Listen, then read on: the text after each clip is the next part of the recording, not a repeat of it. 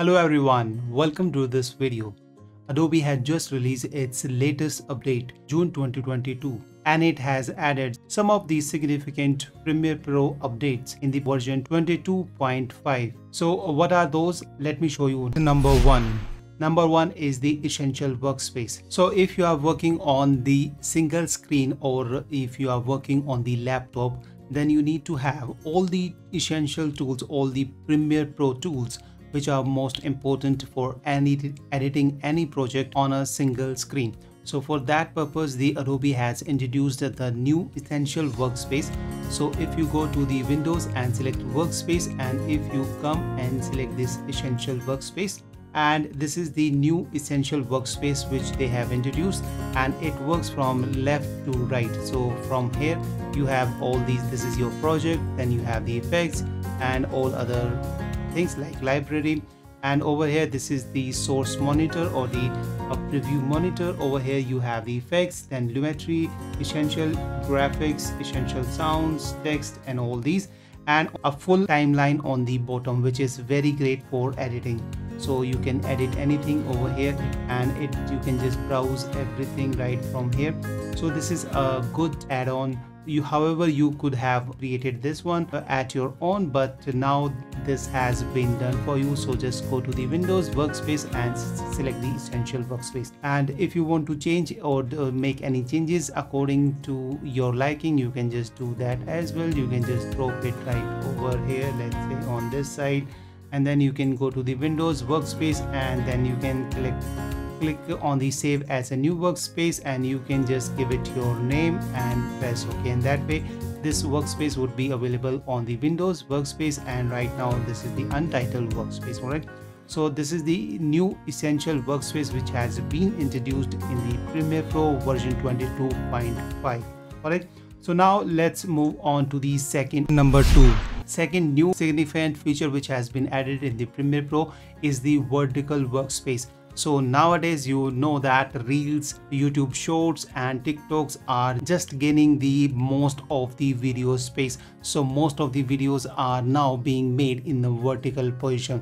So if you have the vertical resolution if you want to work on the vertical resolution then there was no such workspace. But premiere pro now has introduced that so if you go to the windows workspace and there is a vertical workspace right on the bottom just select that and you can see now this is the vertical workspace. So if you have the uh, vertical workspace then you can see right now you can work with that. That way you get the full preview of the vertical videos. You can do anything with that. You can just edit okay so you can edit it so that you can see all of this preview. So over here here you have all of these options like uh, your project effects and other libraries. And here you have the effects Lumetri color essential graphics essential sounds text panel and over here you have the small timeline and this is how you can use the vertical workspace which is a great addition to the Premiere Pro. So now let's move on to the next significant update and that is number three inside the text so if you create any text so if you go to the essential graphics so now if you just come down on the bottom over here you have the fill option so if you click on this fill now you can see here you have the solid option then linear gradient or the radial gradient was introduced earlier. So you can just pick two different colors okay uh, for this one as well okay. So this is for the text. So now you have the option to add the gradient in the stroke as well. Earlier if you click on the stroke you can just choose the solid color as well. Now the linear gradient and the radial gradient both have been added. So now you can be more creative with the help of this one. So you can select this one this color for this one and you can select the another color maybe something like this. Okay? And you can see now this stroke is not visible just increase it. And now you can see you have the gradient stroke as well. So on the top you have this one and on the bottom you have this one this off. You can see now you can see it clearly. So now this gradient feature is also available for the shadows. So if we click on the shadows again you have the option to add the linear gradient or the radial gradient for the shadows as well. So you can just uh, make the shadows something like this. Let's make it white on this side and let's make it red on this side. So if you press ok and let's increase the size of the shadow okay and you can even add more over here. One more shadow right? You can play with the settings okay its direction its angle. And you can increase it. All right?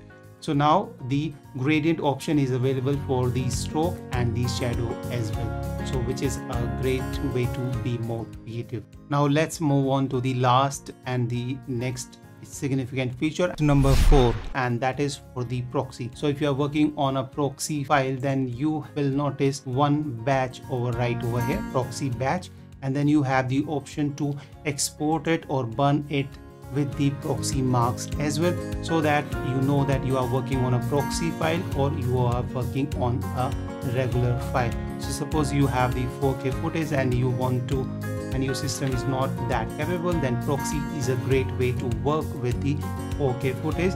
Using those proxy files you can use those low resolution proxy files and edit them and then later on you can just sync with them right? So which is also a good feature. Besides that there are certain other updates have been added.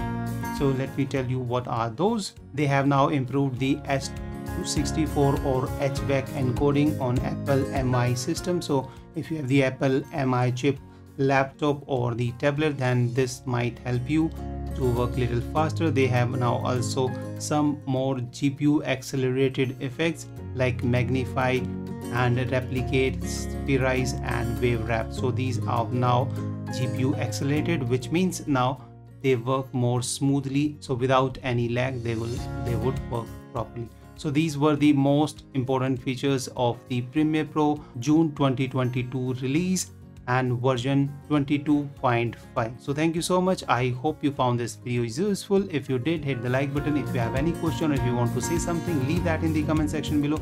And if you have not subscribed to the channel please consider subscribing for more amazing tips tricks and tutorials. So thank you so much. Bye bye see you in the next video